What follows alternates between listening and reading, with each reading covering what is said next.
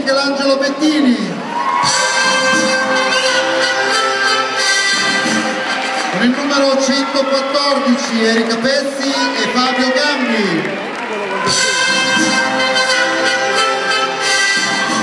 Con il numero 125 Monica Conti e Matteo Giovanardi.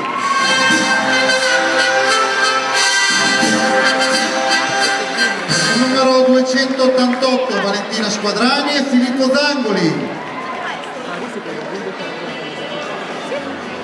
Bene, allora per i signori giudici la coppia numero 288 è da depennare, finale a tre coppie, primo ballo di finale, va.